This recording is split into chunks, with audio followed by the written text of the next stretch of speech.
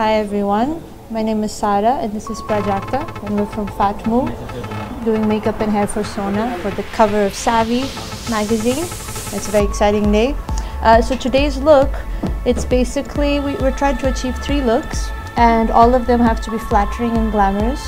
The first one we're doing has to be a little bit neutral, a lot of focus on the eyes and the lips should be a little bit more subtle, but an overall nice, glowy, you know, just beautiful, the best of Sona. That's what we're trying to showcase today. expert at this particular task that she has started, which is contouring, helps a person like me because I have this strong uh, jawline which tends to dominate everything.